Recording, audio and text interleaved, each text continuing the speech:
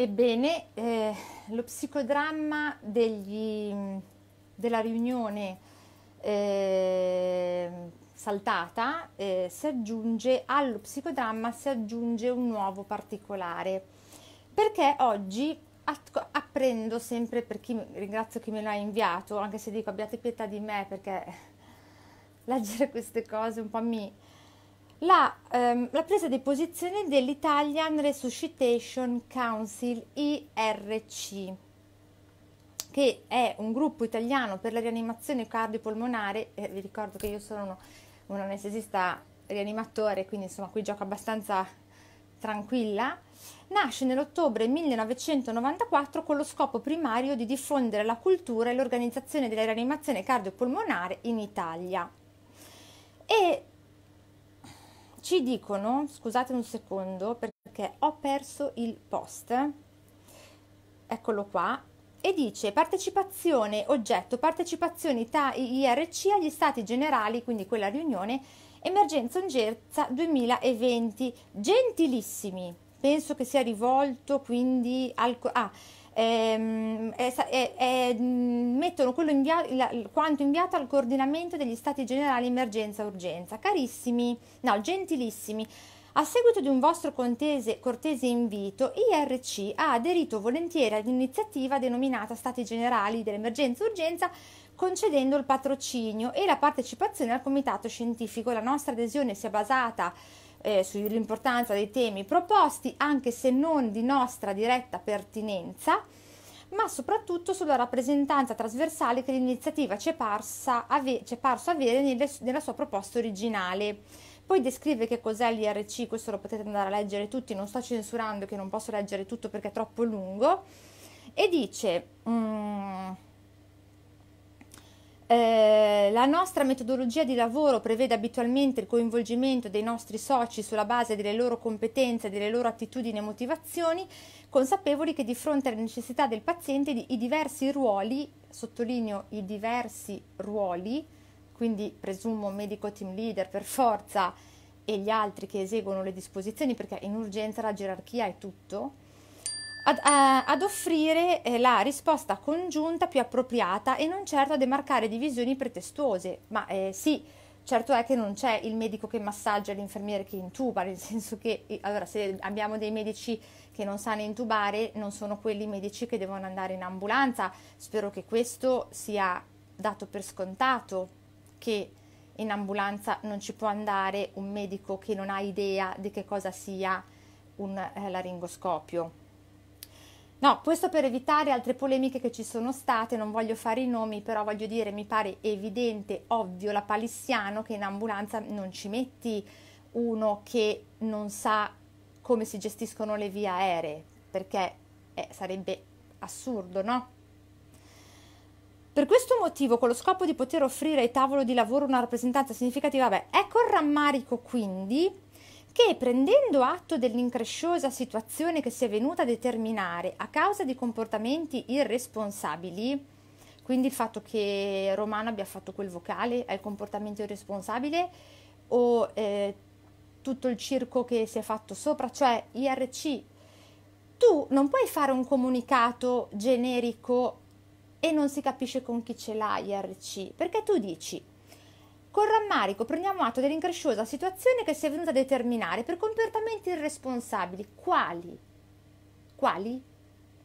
Vediamo venir meno le ragioni fondamentali della nostra partecipazione al progetto e, e penso che sarà difficile rassegnarci, ma dovremo convivere il resto della vita con questa decisione.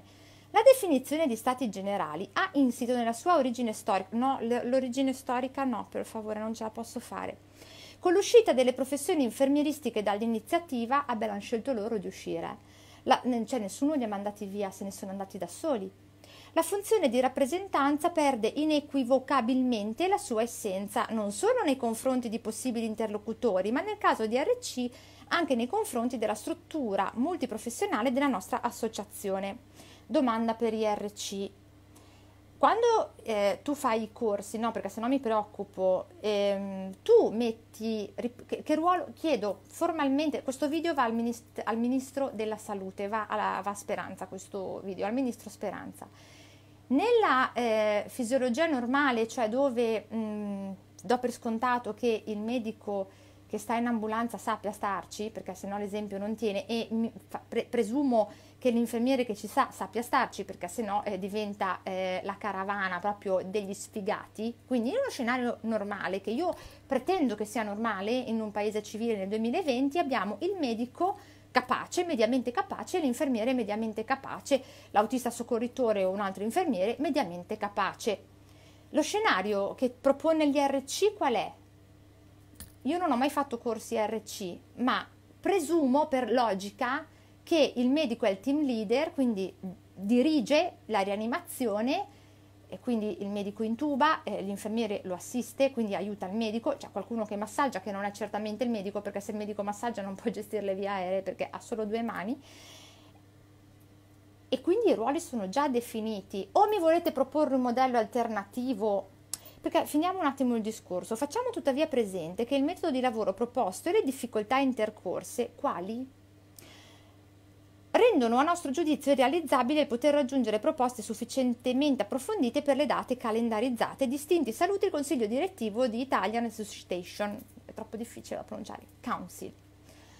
Allora, questo è un messaggio che va al, al, Ministero della Sanità, perché non è che poi sto su Facebook perché c'è il popolino, a me interessa in questo momento eh, il Ministro e lo dichiaro. M- messaggio per il Ministro e, ehm, e poi ci sono i cittadini, che sono le persone coinvolte, cioè questo messaggio serve ai cittadini per chiarirsi le idee e al ministro per avere un quadro un tantino più definito. Allora, noi stiamo dicendo qui, è una domanda, che il modello va nella direzione togliere i medici dalle ambulanze e mettere infermieri a fare ciò che dovrebbe fare il medico che se fosse rianimatore sarebbe il top, ma non voglio arrivare a tanto. E voglio anche raccontare ai cittadini che attualmente i turni di ambulanza sono pagati eh, in modo offensivo, per cui nessun medico specialista, perché facciamo, cioè, nessuno lo fa per carità, nel senso che uno lavora, ma deve, cioè, se non è ricco di famiglia, poi ci deve vivere. Per cui le tariffe che stanno pagando attualmente fanno sì che per selezione naturale darwiniana ci vadano le persone che non hanno una specializzazione o molte persone che non hanno una specializzazione. Non è colpa loro, però il fatto è questo. Cioè, la, la, la, questo è un dato oggettivo, caro ministro, no? Cioè, non mi puoi pagare 30 euro lordi l'ora per stare su un'ambulanza, capisci? Capisce? Al ministro si dà del lei. Pertanto, o mi si sta proponendo un modello totalmente infermieristico dove il medico è una macchietta e dove gli infermieri, come già sta, sta succedendo in certe regioni, mh, applicano algoritmi che non hanno il valore giuridico degli linee guida perché non ce l'hanno. Per affrontare questo argomento bisognerebbe avere cognizione del diritto, quindi prendetela per buono. Perché diversamente l'altro modello virtuoso, che è quello dell'equipe medico, infermiere, soccorritore, eh, implicherebbe un atteggiamento diverso. Cioè, quello che si sta profilando adesso con questi, questa riunione detta Stati Generali, che comunque non avrebbe cambiato le sorti delle questioni perché eh, in assenza, cioè queste sono de- decisioni che non passano da un tavolo di lavoro dove può andare chiunque, quindi state molto sereni perché il fallimento di questo tavolo in realtà è il fallimento di un fallimento, perché era già fallimentare prima, perché non avrebbe potuto compiere una rivoluzione copernicana peraltro peggiorativa del sistema, per cui già stiamo inguaiati abbastanza, evitiamo eh, di, di, di inguaiarci ancora di più, ma tanto ci inguaieremo ancora di più. Per cui, gentile Ministro Speranza, le voglio dire che lei deve però decidere se vuole appoggiare un modello che vede solamente gli infermieri nell'emergenza vuol dire sapere intubare il paziente, sapere fare diagnosi, che non si può per legge, per cui poi fate la legge, ehm, o perché per la constatazione di decesso volete farmi credere che poi dobbiamo chiamare il medico per, cioè non si chiama il medico sulla persona grave in fin di vita che si può salvare, però poi si chiama per constatare il decesso, perché ovviamente almeno il decesso è ancora un atto medico, poi probabilmente prossimamente non lo sarà più e mi taccio sul punto.